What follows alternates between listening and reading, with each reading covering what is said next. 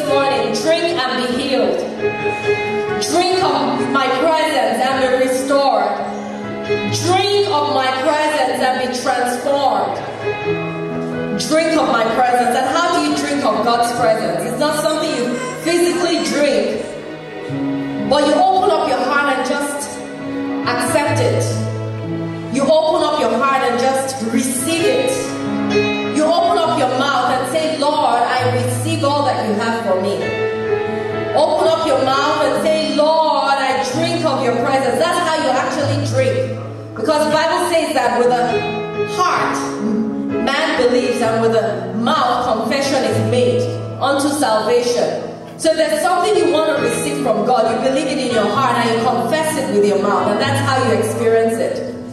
Hallelujah. So Lord, say, Lord, I drink of your presence this morning. I drink of your presence this morning. Hallelujah. See Psalm 119 and verse 117. Was David that prayed this prayer. It says, Let my lips overflow with your praise. Let that be our prayer this morning. Let that be your personal prayer. That you want your lips to overflow with his praise. Amen. Now pray that prayer with me. Say, Lord, Lord, let my lips let my lips overflow overflow with praise praise to you this morning. to you this morning. Hallelujah. So let's continue to praise him.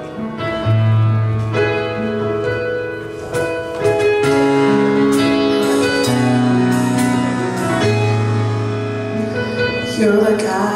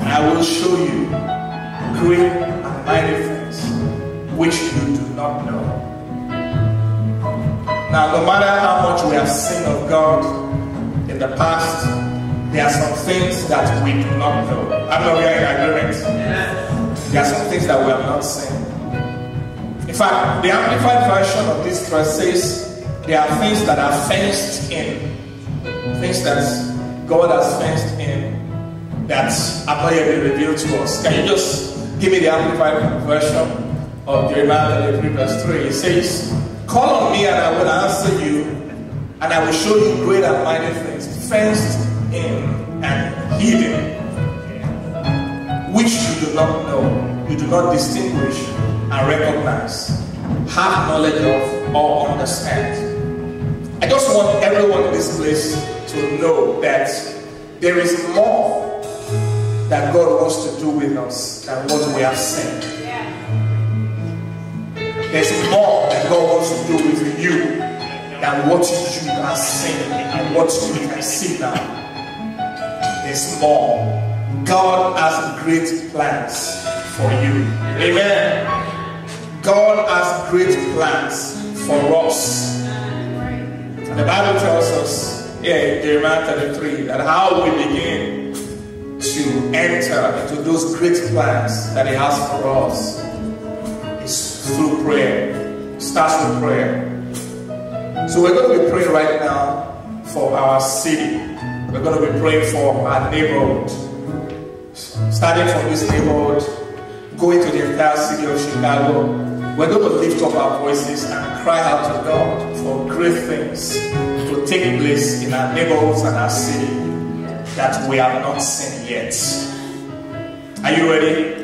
Drop anything that you have right now and let's be focused on prayer.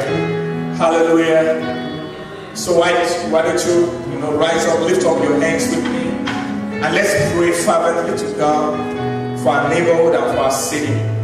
We're asking God for God to reveal the great things that He has for us, that He has for our city, that He has for our neighborhood, that we have not received yet. Father, in the name of Jesus, we join our voices together as a church right now, and we lift up this, this community that we're in, the south side of Chicago. And we lift up, oh Lord, the city of Chicago, this great city that you have blessed with so much. Father, Lord, we're praying. There are things that you want to do that have not yet been done. There are things that you have planned that have not yet been manifested. Oh Lord, there are mighty things that you want to do. Lord, we lift up our voices right now. Just begin to pray right now. Begin to pray in the spirit concerning our city, concerning our neighborhoods. You know what I need you guys to do? I need you guys to stand up, walk around this place. Let's do some praying. I want you to stand up and just begin to walk around this auditorium, praying in the spirit. Let's pray, everyone. Let's begin to pray right now for those great things that God has planned. Let's begin to pray for the great things that God has planned. Let's enter into it through prayer. Let's review them through prayer. Come on, walk around and pray. There's something prophetic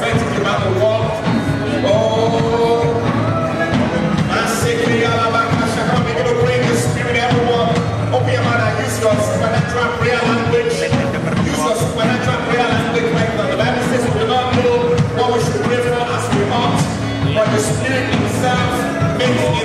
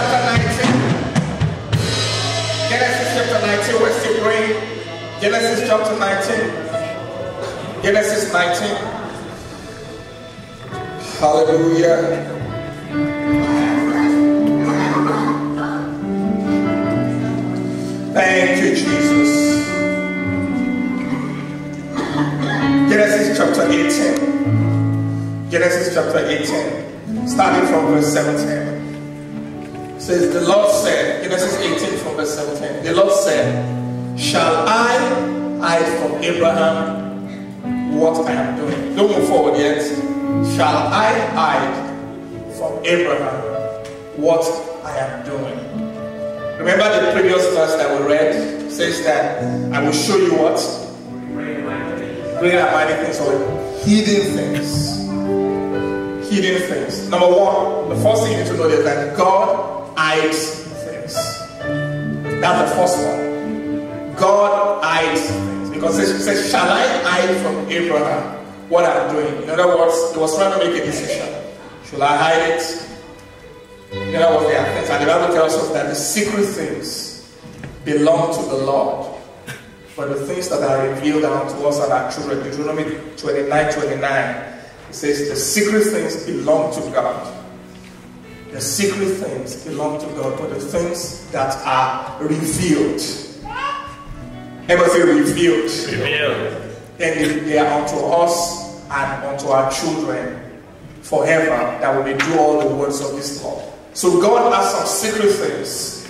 There are secrets that God does not reveal. But when God reveals it, when God allows you to see it, then it becomes your possession and the possession of your children. So going back to Genesis chapter 18, shall I hide from Abraham what I am doing? Shall I hide? God says, seeing that he will become a great nation. He will become a great nation. Hallelujah. Let's, let's say, please, move, you can move forward. Saying he will become a great and mighty nation, and all the nations of the earth shall be blessed in him. So God was saying now, for I have known him in order that he may command his children and his household after him, that they keep the way of God, to do righteousness and justice, that the Lord may bring to Abraham what he has spoken to him. And the Lord said, Because their outcry against Sodom and Gomorrah is great, and because they are sin, everybody says sin. Somebody say sin. He didn't say they are sins, as in it was a whole city. So he didn't say they are sins. I'm sure. They are sin. It's very great. In other words, there was, there was something that was coming from that city that united into one and that came to God. Sin always provokes God. Just like, you know, other things invoke sin. Sin provokes God. So the outcry against Sodom is great. Who was crying? What was, was crying? The outcry, the justice of God was crying out. You get it? And that was, it was, God always has to meet sin with justice because He's a just God. And because their sin is very grave. Verse 21 I will go down now and see whether they have done altogether according to the outcry against it that has come to me. And if not, I will know. Now that's a, you know, a what you just saw in, in um, biblical theological term. Uh, this is is a, it's a righteous style where you give God human features or you, you, you write in such a way that you show that it is like a being just for connection and all that. So I will go down now and see whether they are done all together according to the outcry against it. Go to verse 22. Verse 22. Then the men turned away from there and went toward Sodom. That's the angels that came. Abraham still stood before the Lord. Was Abraham stood before the Lord. You see, I tell you, so many things are happening in our city, even in the nation. There's an onslaught of the enemy against this nation in many ways. And the devil has a plan. God always, you know, has a redemptive plan for every nation, every city. And the devil always wants to pollute that plan. He always wants to stop it. So you've noticed that the United States, the destiny of the United States, the anointing that God has given the United States is to be a pioneering nation. Ever say pioneering nation? Now this is what I've studied prophetically. Every nation has a purpose. You know, so every city has a purpose. And the, the when the devil wants to walk, he wants to pervert the purpose. So the purpose of the United States is to be a pioneering nation. What does a pioneering nation mean? It means that it's supposed to be a pace setter. Ever say pace setter? Yes. In other words, whatever it does is going to be copied all around the world. Whatever is done in the United States will be copied all around the world. I don't know if any of you have seen uh, some of these. Um, of course, you know in Africa now, right? Everybody talks like an American. That's like the more you talk American, the, the more cool you have. So you see guys, it's not cold in there, they're wearing, you know, hats, Jacket. you know, and sweaters, just to look like what they see on TV. And they wear heavy chains, you know, and all that. I was even surprised when I was, there was a time I was watching, like the Middle East, like all this Dubai and in the Kuwait and uh, what do you call it, Bahrain and all those Middle Eastern Muslim countries. You have ever seen their young people before on TV, I don't know if you've ever seen those TV before, they behave like Americans. They dress that way. They do, I mean, if you see their rap in Arabic and everything, like,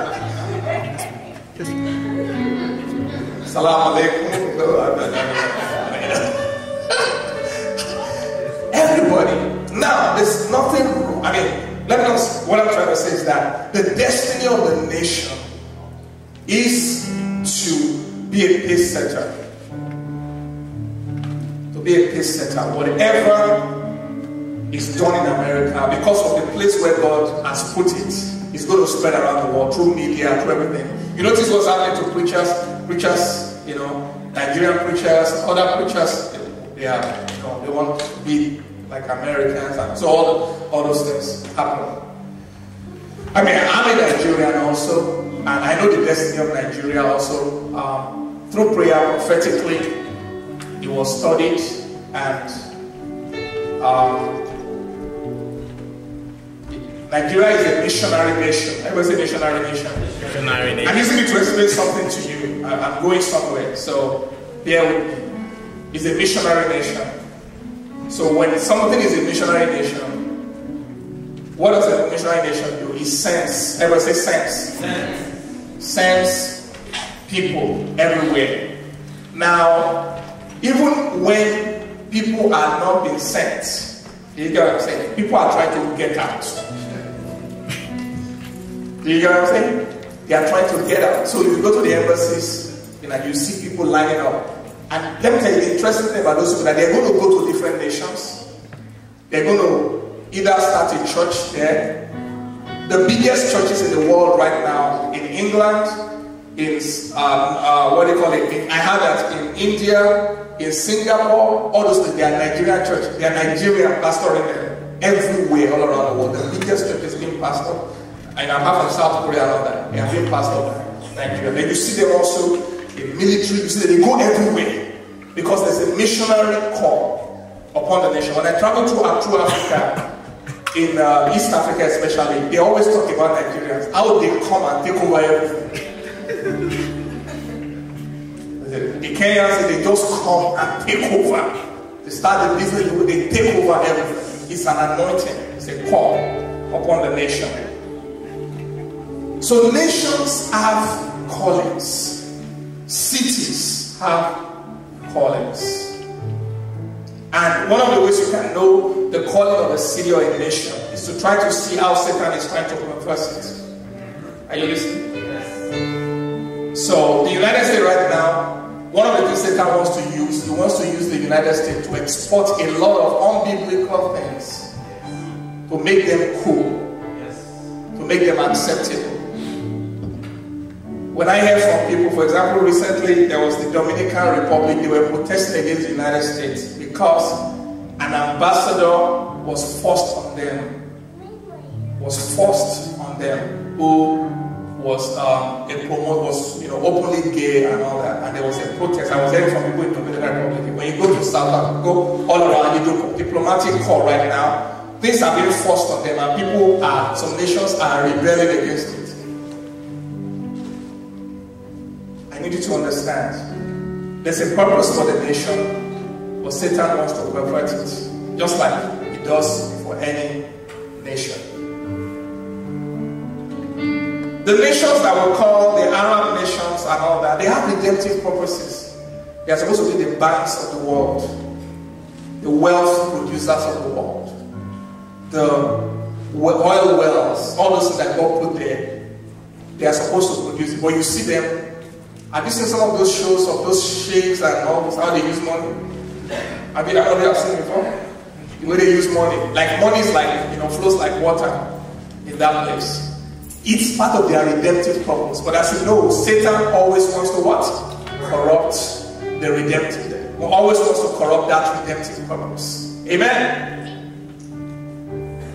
But God says something in Habakkuk chapter 2. We're going to come back to this place. In Habakkuk chapter 2, verse 14, it says, The whole earth will be filled. Ever say it will be filled? With the knowledge of the glory of the Lord as the waters covers the sea. So meaning that there's going to come a time when every nation will contribute to the fullness of the glory of God and what God has deposited in every nation will be revealed. Will be revealed. But before that time, that time happens, we have to take a stand. Everyone say we need to take a stand.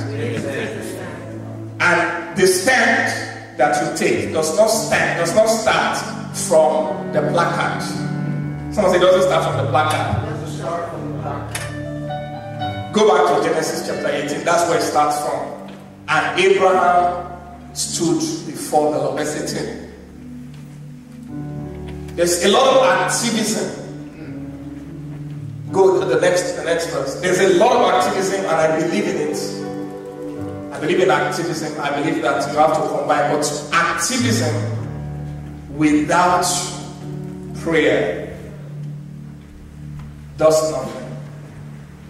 Because we wrestle not against flesh and blood. Verse 20. For we wrestle not against. Keep going, keep going. Where I got to. 21. 22. Good, that's where I'm going. So, we wrestle not against flesh and blood, but against principalities and powers. When you start seeing things happening and all that, you think it's just a physical thing. It's not a physical thing, it's a spiritual thing. It's a spiritual thing. It's a spiritual thing. I believe that Chicago is supposed to be an exporter of peace. Everyone say exporter of peace. A place of peace and a place of rest. People are supposed to come have vacation here, and then they come into this place and there's just this relaxed thing that comes on them. And they and number two, it's supposed so that's the first thing. Satan is attacking with violence because the purpose of it is peace. Everybody say peace. Peace. So it's supposed to, to be a place where a heaven will come and rest. The second thing, Chicago is supposed to be a diverse city that reflects the beauty of the kingdom through connections. In other words, Chicago is supposed to, the dream of God for the city of Chicago is that South side is not just black. Uh, North side is not just white. The dream of God for Chicago is nobody's afraid of going to one area because they feel they're going to be mocked or because they feel they're going to be discriminated against. The dream of God for the city of Chicago, and you notice that it's an international city. Every ethnicity in the world, if you look around, you'll find it there. You go to Devon and you see all the Middle East, I'm sorry, you see all the Eastern people, you see India, Pakistan, and you know, and all the Asian and all that. You go to Chinatown, you see the Chinese. You go to Greek town, you go to the Ukrainian village, you go to uh, Albany Park. They said in Albany Park alone, there are several nations. Like if you walk, if you walk on the street in Albany Park, you are meeting somebody from another nation. Like it's just they're concentrated around the area. But you know what Satan wants to do? Everybody be afraid of one another. Don't go to the south. Don't do that. Because that's what it has been. So they call Chicago. You see the two names they give Chicago. The first one, there's a movie that Spike Lee is about to work on now called Chiraq. That has to do with the violence, this aspect. Then the second name because they said it is the most segregated city in the United States. That's number two. Then the third thing that they are saying, I want to be noticed that over the past few years, they said a lot of people have left Chicago. Have you been following? Illinois as a whole, they calculated the number of people that have left, and people are moving to Texas and moving to other places. So, a city where people are supposed to come and rest and settle and enjoy peace, people are moving away from it. And I believe also, through going to the prison and talking with some of those boys in prison and what you see around, one of the one of the things that Satan is afraid of in this city is the destiny of the young people. He's afraid of those kids. He's afraid of those kids. There's something he's scared of that those kids are supposed to do in the world that's against his plan. So what does he want to do? Kill them off. Lock them up. Disillusion them. Destroy them. But are we going to allow this to happen? No. Are we going to allow it to happen? No. Now, notice you don't even have to live in Chicago for you to be part of it. Look at this. Abraham did not live in Sodom, did he? He did not live in Sodom. But he stood before the Lord. Everybody say he stood before the Lord. So I said, before you take a stand outside, make sure you take a stand inside. Before you take a stand out there, make sure that you've stood before God and you have received revelation from Him and you have prayed and communed with Him. Otherwise, everything that you are going to be doing outside will come to nothing.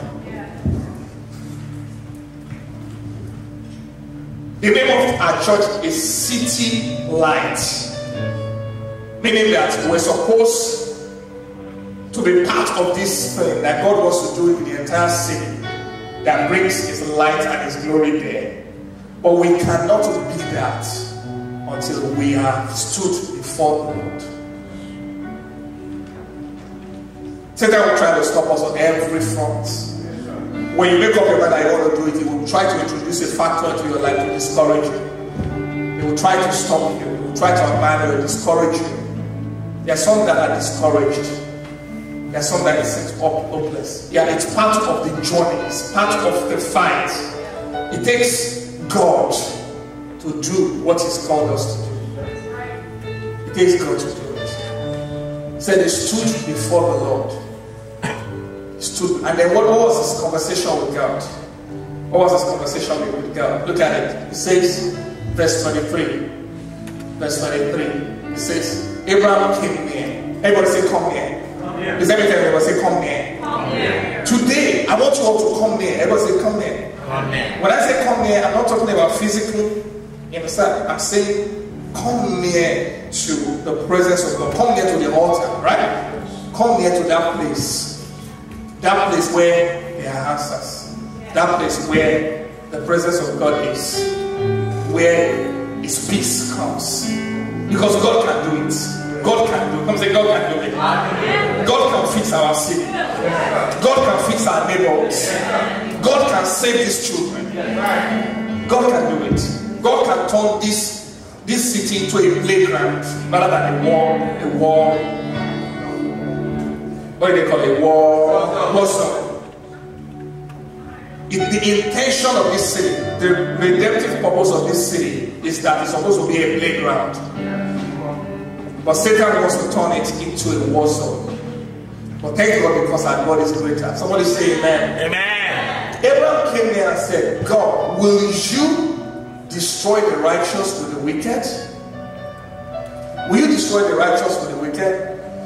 Will you cause a neighborhood where there are righteous people to dwell and dwelling there? Will you cause violence to, to engulf such a neighborhood? Those are the questions that we need to wrestle with. Will you do that? Abraham said, verse, sorry, verse 24. Suppose there were 50 righteous within this city. 50. Just 50. Just 50. Just 50. Just 50. Just 50. Will you also destroy the place and spare it for the 50 righteous that were in it? Far be it from you to do such a thing as this, to slay the righteous with the wicked, so that the righteous should be as the wicked. Far be it from you. Shall not the judge of all the earth do right? Abraham was challenging God. The Lord said, If I find in Sodom 50 righteous within the city, Yes, sir. then I will spare all the place for their sakes. If I find those 50, I will spare everywhere. You see, some people, when we talk about making impact, see, we sing, you know, our family song, we're doing all that. Some people think that it takes a large number to make an impact. No. It takes a dedicated few committed to a goal to make an impact. That is the way it has always been. The, the apostles disciples that turned the world down. There were a few persecuted people. But they had a focus. There was something they wanted to do. So it's not people. Hey man, you make please. You guys are gonna be with me today. No, I didn't tell you to go. Okay. Right? Because we're still gonna sing. Amen. And Abraham answered and said, Indeed, now I who am but dust and ashes, am taking it upon myself to speak to the Lord. Okay, so Abraham continues the bargain. Suppose there were five less than the 50 righteous. Will you destroy all for the sake? This reminds me of it's like, you know, when you're buying things in Africa, you don't bargain so much in this place. They give you a price, you say, Will you take this one? The person said, Yes. Will you take this one? And I said, No, no, no. Will you take this one? That's what he was doing. He was bargaining with her. So five less than 50 righteous. Will you destroy all of the city for the lack of five? He said, If I find here 45, I will not destroy it. And he spoke to him yet again and said, Suppose there should be 40 found there. And he said, I will not do it for the sake of 40. And he said, Let, let not the Lord be angry. I will speak. Suppose 30 should be found there. He said, I will not do it if I find 30 there. And he said, Indeed, now I have taken it upon myself to speak to the Lord. Suppose 20 should be found there. He said, I will not destroy it for the sake of 20. Then he said, Let not the Lord be angry, and I will speak. But once more, suppose 10 should be found there. And he said, I will not destroy it for the sake of 10. Look at that. Abraham assumed that 10. He counted Lot, that's his, nephew. He counted the wife, the children, and all that. Ah, there will surely be 10 there. So Abraham stopped at 10. But you know what? They could not find 10 there. They could not find 10 there. But the principle here is that as we stand before God, in other words, it takes a few people to make a difference. And that difference that we're talking about starts with prayer. Somebody say prayer. Prayer. Prayer. the first remedy of God for a city is a committed people who are ready to stand before God until something happens. There's something we used to call push. Pray until something happens. Everybody say pray until something happens. Pray until something happens. So, so we're talking about joy in the city this morning. The first thing is the committed people who wants to see great things done in the city and they get before God together alone. They begin to pray for those great things. All through history. All through history. Whenever God's people get together and start to pray, God begins to move. God begins to move upon the land. So everything that we're seeing happening all around us even in the, in, in the, in the community, of the nation, is a pointer to the prayerlessness of the church. Can I get an amen in this house? It's a testament to the prayerlessness of the church.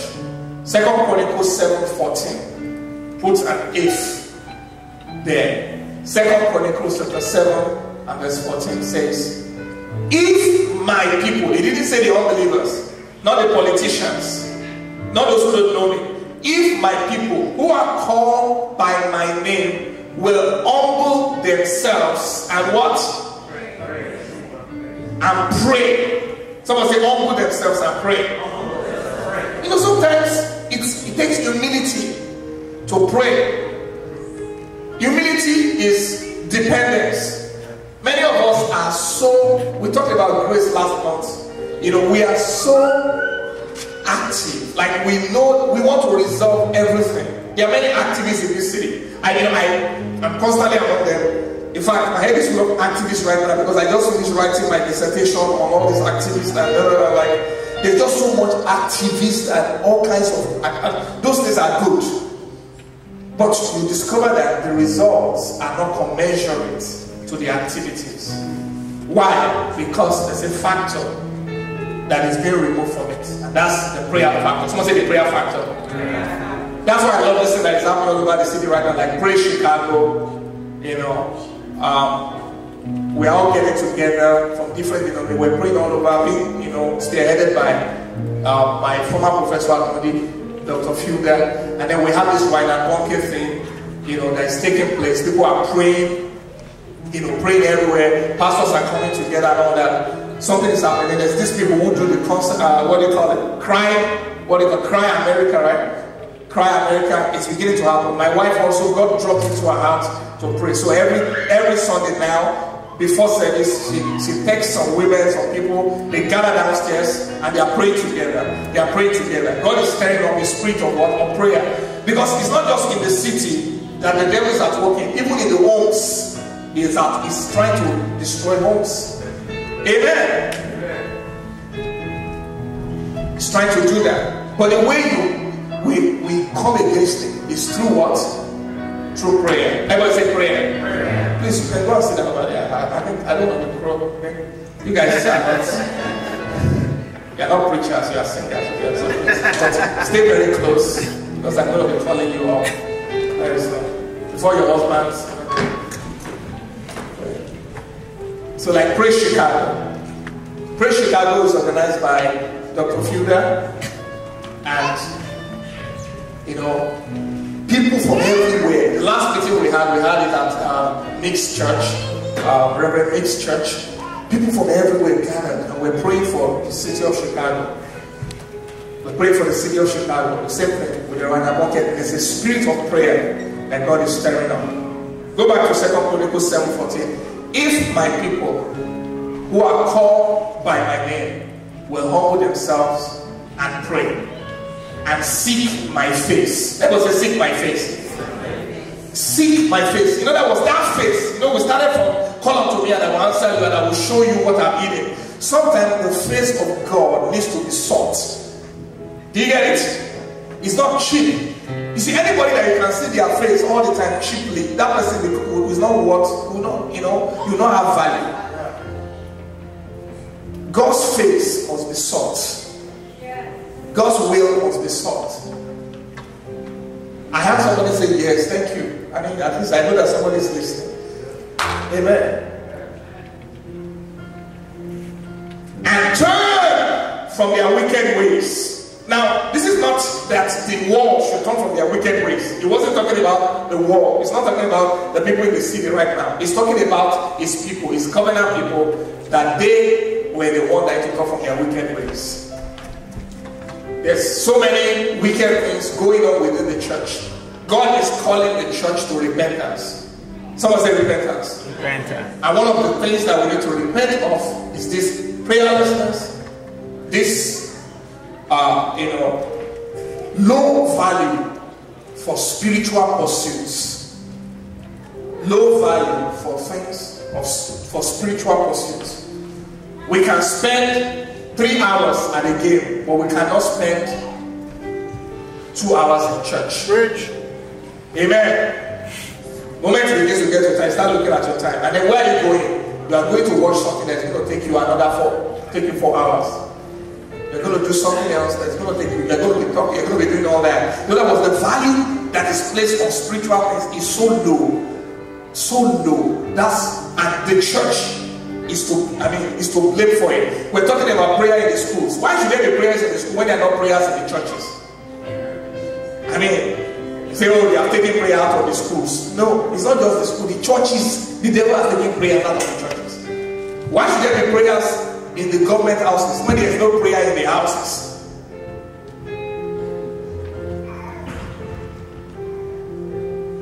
We've got to bring prayer back. Someone say, we've got to bring prayer back. We've got to bring prayer back. I will hear from heaven and I will forgive their sin. And what will happen? Everybody, what will happen? I will heal their land. I will heal their land. So, in other words, the healing begins with God's people and then it overflows to the land. Did you get that? It starts revival starts with God's people before it flows to the land. If the church is weak and everybody is struggling to even pray for two minutes and stop struggling to read the Bible and husbands are not praying with wives and children are not, I mean, just, uh, you know, what's going to happen to the land? Don't even talk about the land. Amen. It has to start with the church. It has to start with standing before the Lord and praying. And that's when great things will begin to happen in our city. Great things begin to happen in our city. Jeremiah 29, verse 7. What is God's solution to the city? God's solution to the city is a church that is awake. What is God's solution to the city? God's solution to the city is a church that is awake. I'm not talking about being awake physically, I'm talking about being awake spiritually. Everybody say spiritually. Spiritual. It's a church that is awake. It's a church that is awake. The way peace will come into the city is when God's people begin to seek the peace of the city and begin to pray to the Lord for the city. He said, and seek the peace of the city.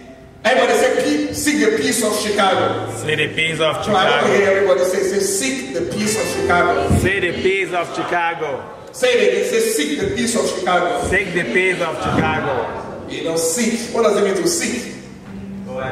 You go after, you you you look for it. It's like something that is lost. You get it? So you begin to go after it because you want to find it. Peace is not just going to come, it's not just going to land, it has to be sought.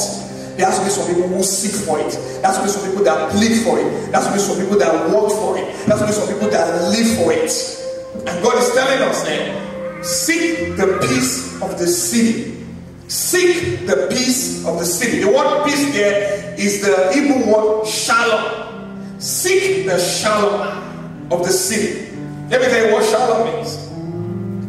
Shalom, that's how um, you know Jewish people they greet themselves.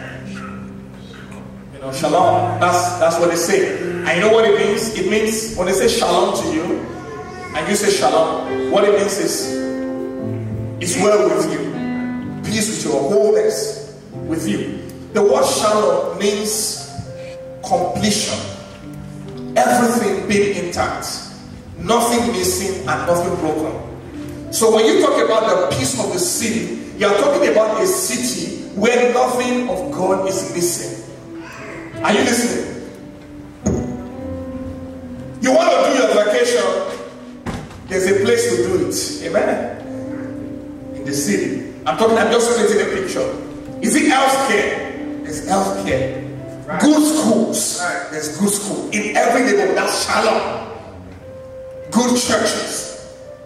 Or in every neighborhood, people can, kids can run around in the park without adult supervision and without being afraid that somebody is going to come there and shoot them or steal them. That's shalom.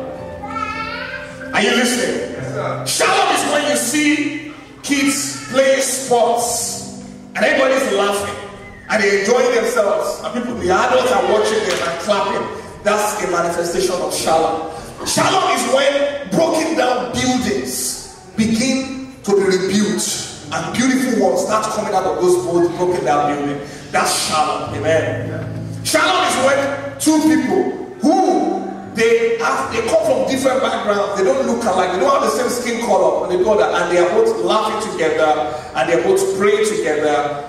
That brotherhood that Martin Luther King Jr. talked about is shalom. You know, the dream that he had when he said that, you know, I dream of a time when the son of this former slave owner and the, the son or the children of the former slave owners and the children of the former slaves will be playing together. And nobody will be judged any longer by the color of their skins or by the content of their character. That's shalom that he was speaking about. That's shalom. I was speaking about. Where we can hold hands and cry together laugh together, even though our backgrounds are different. That's shalom. Shalom is the coming together of all the beauties of God in a person or in a place. That's what peace is. It's the coming together of all the things of God, all the ethnicities, all the, the wealth. There's so much wealth in every city, there's so much wealth in every nation. God put so much wealth there. When those things are tapped into, and that wealth becomes manifested. That's what shalom is. That's what shalom is. So shalom is not just an experience of, ooh, I feel some peace. No, shalom is a tangible thing. It's a tangible thing. It is whole neighborhoods. It's good houses. It's good clinics. It's good schools. It's children playing. It's whole marriages. It's old people working together and they have been married for, you know, 70 years. It's health. It's a long life. It's having money. It's businesses coming to a community and growing and thriving. It's a coffee shop where people gather together and laugh and they, do, they have conversations and they share of what is going on in life. That's God's operationalization of the word peace. Nothing missing, nothing broken. Everybody say after say nothing missing, nothing, missing. nothing broken. That's peace. So Jeremiah 29 verse 7 says, So seek the peace of the city where I have caused you to be carried away captive. He was talking to captives. They were taken to Babylon. It was a city that captured them. The city was the city was harsh on them. They were taken from Jerusalem and they were taken to Babylon. But God was speaking to them that even though that city captured you, what I want you to do is for you to seek the peace of that city. Amen. For in the peace you will have peace. Pray to sorry, I'm praying to the Lord for it. For in its peace you will have peace. Another translation says for because peace is everything, prosperity, health, everything. Said but if it prospers, you also what? You will prosper. If the city prospers, you will prosper. Let me round up. And we're going to pray. We're going to sing that song. But we're going to, we're going to get into a prophetic mode. And we're going to pray. We're going to pray. If it prospers, you will prosper. The solution of God for the city is people. Someone say people. People. It's people. It's God's people. God's people. At the beginning is they begin to pray to the Lord for the city. They begin to pray to the Lord for the city. They begin to declare prophetically over the city. They begin to declare prophetically over the city. Hallelujah. Amen. Proverbs 11 verse 10. Proverbs 11 verse 10. You are the solution to the city. You are the answer. You are God's genius for the city. It is people.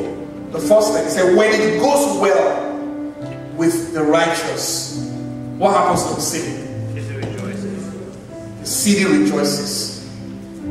You know that was well. See that word well, well, wellness is shalom.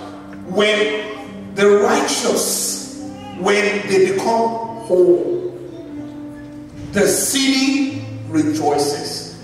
But when the wicked perish, there's jubilation. When it goes well with the righteous, the city rejoices. We're talking about joy in the city. I must say joy. Somebody say joy in the city. How do you put joy in the city? Wellness of the righteous. Someone say wellness of the righteous. It is you, you becoming whole spiritually. It's you becoming whole mentally. It's you becoming whole in your marriage. It's you becoming a light with your finances. It's you becoming a voice. It's you reflecting it. It starts from us. Let's bring it down a little bit. It starts from us. We have to model it. When the righteous, when the when it goes well with the righteous, the city does what? The city rejoices. The city rejoices. A translation says, when the righteous prospers, what happens to the city? The city rejoices. When the righteous prospers, the city rejoices. When the righteous prospers, city, when the righteous prosper, the city rejoices. Hallelujah. Are you getting it, everyone? Are you getting it? Are you getting it? Say, pray to the Lord for the city. Look at what God said in Jonah chapter 4, verse 11. Jonah 4 11. This verse, every time I read it, this is God's view for the city. He's the God of the city. When Jonah, when God told Jonah to go and preach to that city, a great city that was against God and all that, Jonah, you know, ran away and then later, the, you know, the, the fish caught him and all that. Then he went back. And after he did it and the people repented, he was not angry that God, how, did, why did you forgive them so easily? They repented. You told me to go and prophesy they were going to die. But how did you forgive them so easily? So while he was sulking, while Jonah was sulking and angry, God told him, He says, Go back, go to verse 10. Let's see the beginning. Go to verse, go to verse 10. God said to Jonah, Do you have a right to be angry about the vine? Now, you know, you know what? You need to understand what the vine is. While Jonah was talking there, there was go, go, go back. I think it will help us understand it. Go, go, go, up a little bit uh, to maybe like six or seven. Like I Jonah went and sat up to the place east of the city, just like we had east of the city. I say east of the city, then he made himself a shelter and he sat in the shade and waited to see what will happen to the city. Isn't, isn't that what, what we do sometimes as church? We sit in the shade, amen, right? And say, let's see what's going to happen to this city.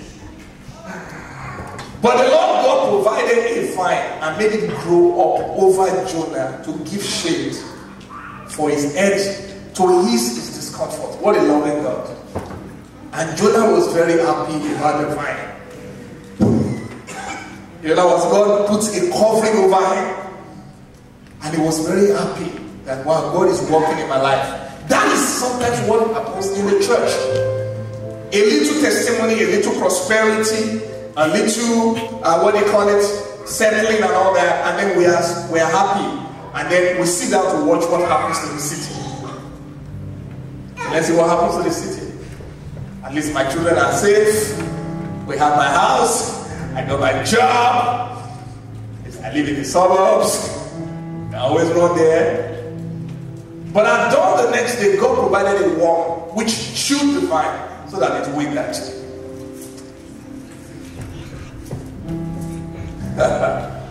when the sun rose, God provided a scorching east wind, and the sun blazed on Jonah's head so that he grew faith, This is how the Lord working. Amen.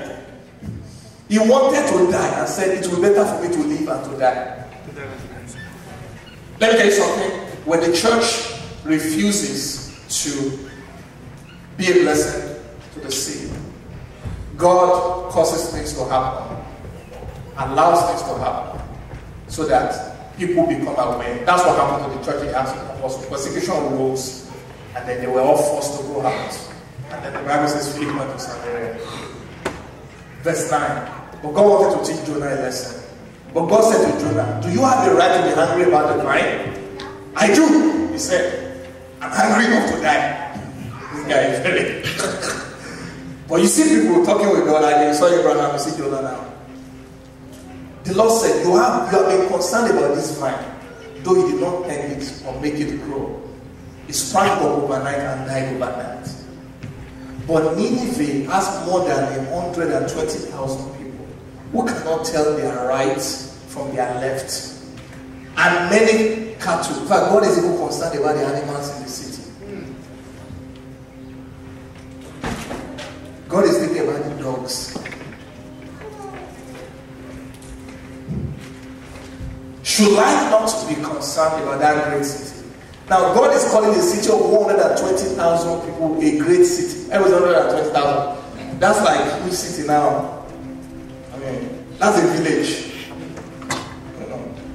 Chicago has 2.9 million people in the Chicago itself.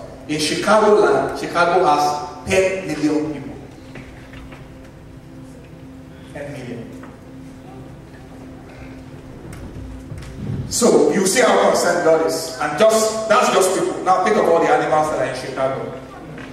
You know, some people they're like, oh, you know, like environmentalism and all that. You know, some people can take those things to great extremes. Global warming and all. They can take it to extremes, turn it into a political thing. Things that are to not a political thing. But it's just common sense. If God gave you a house, I'm supposed to take care of it. Right? If He gave you a planet, are you not supposed to tend it and take care of it? You supposed to just let it just always pour oil on these all that destroy everything? God is concerned about the people. God is concerned about the animals. God is concerned about the environment of the city. God is concerned about the cleanliness, the beauty, the flowers. Isn't he one that made all the mountains and all that? That I mean, it must be somebody who loves beauty. So he doesn't want the neighborhoods to be full of trash. See trash scattered everywhere. That's not the will of God. God is a God of excellence. God wants the city to look like some suburbs. You know, you go to some suburbs, right? And you're like, wow, this is like heaven. God's plan is that every part of the city looks that way. But it's only going to happen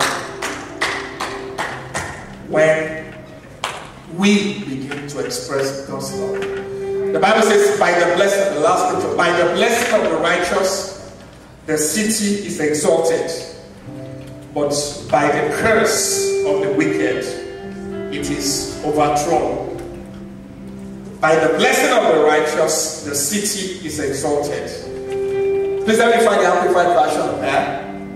It says, the blessing is, is know, the blessing. You know what? As, the, as we begin to say good things, that's why I will never subscribe to calling Chicago Chiraq or the most segregated city in the world, you know, or any of those things. I love Chicago. Amen by the blessing and the influence, ever say influence, Influence. of the upright and God's favor because of them, the city is exalted, but it is overthrown by the mouth of the wicked. So, meaning it is the influence, someone say influence, it's our influence, it's the influence of the righteous It is your influence in the schools. It's your influence on TV. It's your influence at work. It's your influence in the neighborhood. It's the influence of the church. It's the, you know, it's what we do with the kids. Uh, You know, we're having a summer camp now dedicated. They're going to be bringing kids from Englewood, from everywhere. It is your influence. We're starting something. They're going to be sending those kids from prison. They're going to be coming into this place. You know, they're going to be working with them. It's your influence. The influence by the influence of the righteous. Someone say influence. And God's favor because of them. The city is exalted. So we you see we have a greater role to play in our neighborhoods than we are playing. Many of us don't attend neighborhood meetings. We don't even know, you know, what's happening at block. We don't know the next neighbor. We don't even know the name of our alderman. We don't know where his office is. Amen. How many of you know where the office of the alderman is in this place? Okay, good. Like five percent, less than five percent. How many of you attend any neighborhood meeting in this place? Just two, three. Amen. How many of you shop in the neighborhood? Or you shop downtown alone? I was at the coffee shop there, sip and whatever. Even though it's not the best coffee, it's a great one. It's not, but it was this our home. Amen. It's our home. Hallelujah. It's our home. Visit the place. Be there, buy coffee from them. Amen. Instead of Starbucks, Starbucks. You know where the money Starbucks?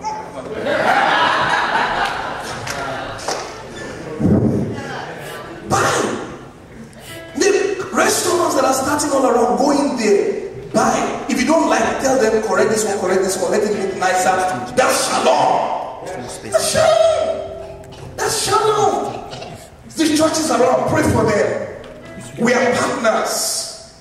We're partners. This that's what we're talking about. Amen. By the influence of the righteous, the city is exalted, but it is overthrown by the mouth of the wicked. Their mouths, they overthrow it. What they, the words they are saying about the city, overthrow it. So we have to start using our words well concerning the city. I love Chicago. Everybody say, say I love Chicago. Say, I love the United States of America. I love United States of America. Say, I love this city. I love this city. I love this nation. I love this nation. And I prophesy joy and glory to this And I prophesy joy. Everybody shout, they say there's joy in the city. There is joy in the city. No, I want you to shout it again. Say there is joy in the city. There is joy in the city. Say there is joy on the south.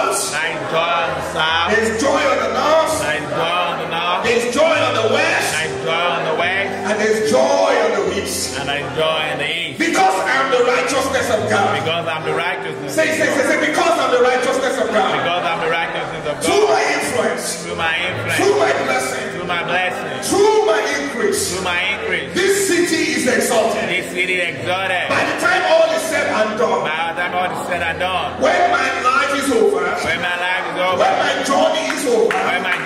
Over. They will say he walked through this city. They'll say walk through the city. And he used his influence for And this they city. it for this city. And rest of the The city. range of the In city. every way. In every way that they That have. is what we have been called to That's do. what we to do. That's what we've been called to do. That's what we've been called And you don't have to be born here to do it. You have been brought here by God. The Bible says he has determined the born for your habitation. He has determined where you live at every time. God has brought you here because there's something that he wants you to do in this city. Begin to love this city. Begin to build houses in the city. Begin to buy houses in the city. Begin to settle down in the city. Begin to walk around the neighborhoods. Begin to play, do sport, swim, go to the neighborhood meetings, do everything, and let your influence prevail the entire place from your city life.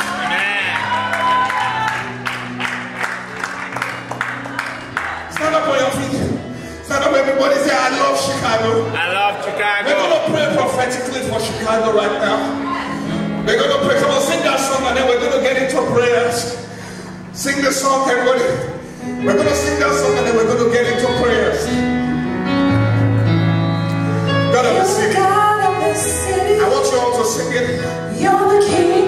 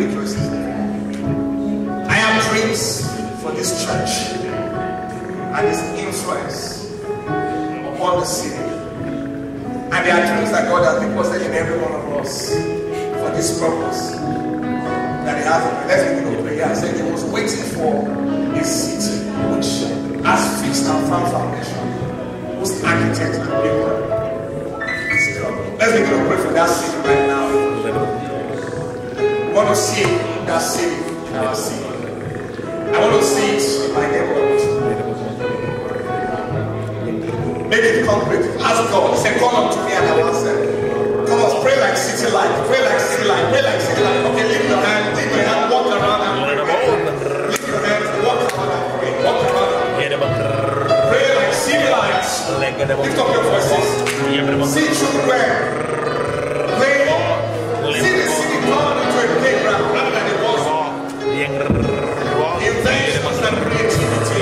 rosso conservò le le preso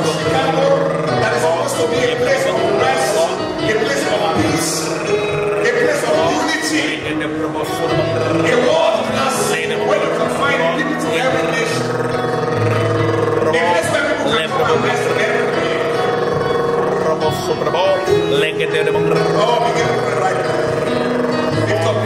and voice.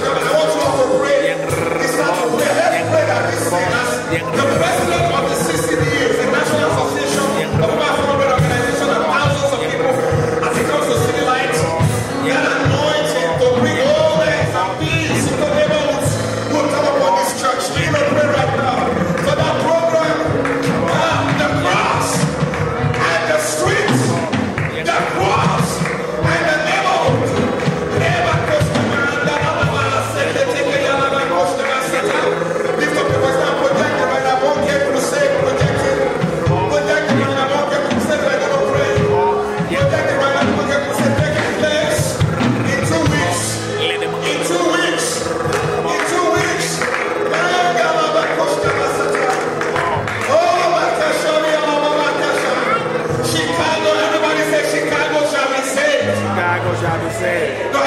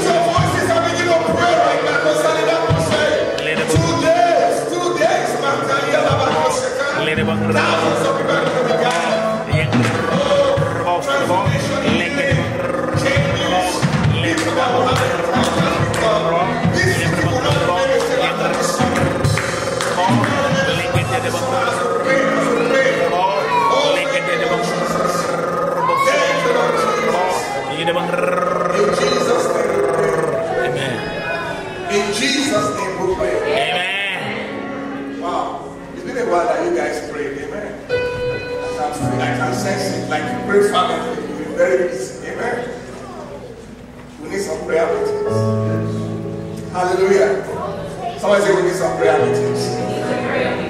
Yeah. First of all, ten, nine what time? Nine. Nine thirty every Sunday.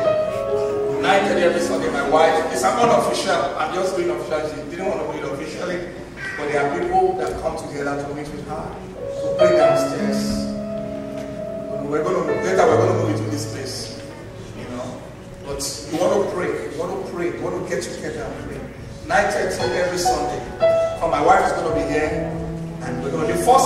had, the first prayer they had, Tuesday, two people, two people began to speak in tongues. They never spoken in tongues in their life before.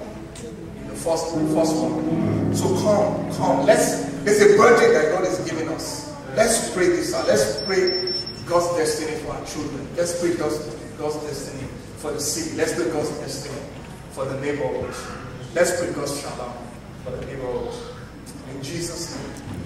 Amen.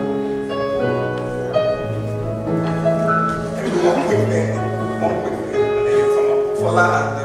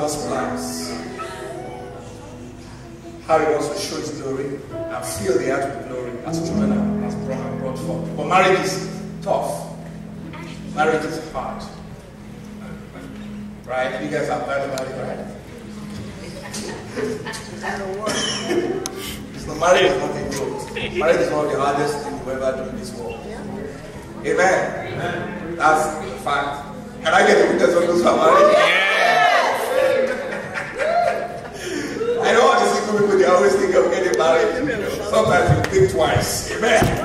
But it's tough. It is tough. It's hard work. It's not for lazy people.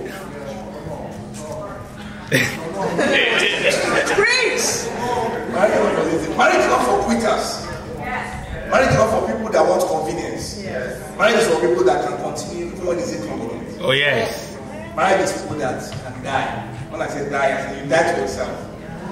That's one of the definition of marriage. Death to yourself. Amen. So I'm not going to lie to you. You guys are entering into a blessed, holy matrimony. There's so much blessing that is involved. There's grace for it. But you're entering into something that's you know requires some work. But thank God because there is grace and His blessing. So the same God will sustain you. So please keep them in your prayers. Keep them in your prayer. My wife and I will flying to Florida next week. We'll still be in church, come back to church, but um, you know they will be joined in holy matrimony. Next time they come back, they're going to come as husband and wife.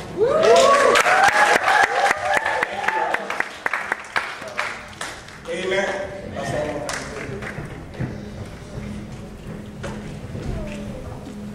Hallelujah.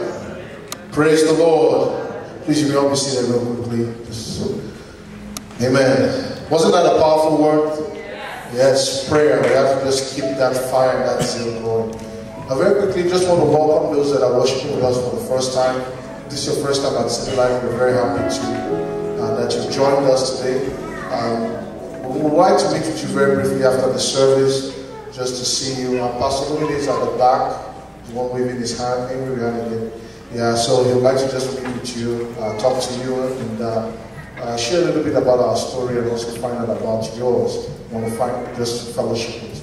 So once again, welcome to those that are worshiping with us uh, for the very first time. Welcome also to our internet audience. Thank you for joining us. Um, we know that you as you heard about this, um, the message that you carry it wherever you are and spread it as well at your in your in your environment that God has placed you. Praise the Lord. There's going to be a very brief meeting. Uh, uh, there's going to be a training for the Reinhard Bonnke Crusade immediately after this service. How many of you are aware of the Reinhard Bonnke Crusade? I know Pastor told us to pray, pray about it. Everybody, how many of you are attending? How many of you are planning to come for the great Bonnke? Can you project it up? How many of you are planning to attend? All right, just a few of you. Okay, let me tell you, when I was a little boy, like I shared many times, um, I was, you know, invited for a Bonnke crusade. I was 13 years old, and I didn't want to go. But I thank God that I went because that was where I met Jesus. And I'm standing here today as an example, a product of that crusade. So if you were not planning to attend, I want you to readjust your mind, plan, replan your schedule, and attend. And make sure you bring someone along. Next week, by the grace of God, we're going to get the names of the people that we'll be inviting. We're going to be praying over those names. I hope you are praying over the names of the people that you're inviting. Know, we don't want you to just come alone. We want you to bring your friends, invite your friends. We are looking for, we, we are uh, looking to get two buses that will take us from here to the place. So you don't have to worry about transportation. You can just come here, park your car, and then you know the buses will take you to the venue and bring you back. So please don't don't keep your joy to yourself. Don't keep the salvation. David said, Restore to me the joy of my salvation. There's a joy that comes because we are saved. We should not keep it to ourselves. We must spread it. We must let everybody hear it. It's, it doesn't have to be complicated. Let everybody hear your testimony. Let them hear how you got saved. Let them hear what Jesus is doing. Because Jesus is doing a lot in our lives. We shouldn't keep it to ourselves. So talk to your friends, talk to your co-workers, talk to your neighbors, take flyers out in our GQ. We had a testimony of one of our members just going, knocking at the door of the neighbor that they've never even really talked to. When they just started sharing about this thing, it opened a, a link for communication between the two of them. So don't be afraid the Bible says the righteous is as bold as a what? As a lion. They're not supposed to be intimidated by anybody. Just go and say, hello, how are you doing? I would like you to come for this event. It's free and your life will not be the same again. You know, if we can do, do the same for Chicago Bulls, we can promote the Chicago Bears, and if we can promote the Hawks, if we can promote all the sports that are going, if we can promote the NBA, where can we promote Jesus for goodness sake? Let's promote Jesus for goodness sake. Let's promote Jesus because he's worthy of our promotion. Amen. So for those of you who express, express interest in volunteering after the service in the green room, we're going to have training for you. Pastor Lan will train us for one hour. It won't take your time. It's going to be quick. And then you'll be gone. And then on, on the day of the event, um, you'll be there to volunteer. We'll also pass information to you on, on, on that. Hallelujah. For the uh, summer program, we prayed about it as well. If you need information on the pricing and all the all, all the stuff, Please see Osense, the Osen, there you go, she's there, uh, and Ruby, who's not around now, but Osen will be able to assist you with any questions that you have. The dates are there, June 29th to August 7th from 8, 8.30 a.m. to 3 p.m. in the afternoon. There's aftercare uh, um, provided as well. Um, so, but also we'll be able to give you all the details that you need. Hallelujah. I think I think those are the major announcements that we have for now. Can we just prepare our tithes and offering? We're going to give our offerings to the Lord right now. Um, those are the different ways you can give. You can give uh, using a check. You can make it out to the CityLight. There's the uh, uh, offering kiosk at the back. You can pay using your debit or credit card. You can give via the phone or your text. Um, if you want to give with a check or cash, you can just signify your hand and the ushers will get you an. Hallelujah. We're having kingdom culture immediately after this service. We would like to ask all the adults after the service to just uh, move outside, um, downstairs to the fellowship hall. You can continue your conversations there if you want. Uh, the new members, the new visitors will, will be reaching out to you before the end of the service. Can we just lift up our offering before the Lord?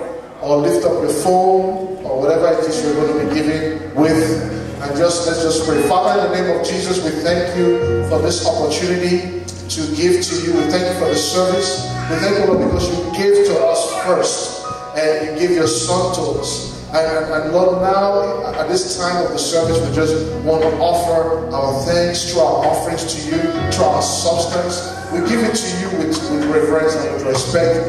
And we give it with, with this assurance that when we give, it shall be given to us. Good measure, pressed down and shaken together, shall men give to our bosom. We give it to you knowing that every need is met, every bill is paid in the name of Jesus. We give it to you knowing that you've opened the windows of heaven and you're pouring out a blessing and you're pouring out divine ideas on, on, on, on, on how to increase, oh Lord God, our, our, our substance in the name of Jesus. We give it to you knowing that our barns are full of plenty and that we are not lacking any good thing in the mighty name of Jesus. We give it to you knowing that we are overflowing in abundance and we are giving to every good work and charitable donation.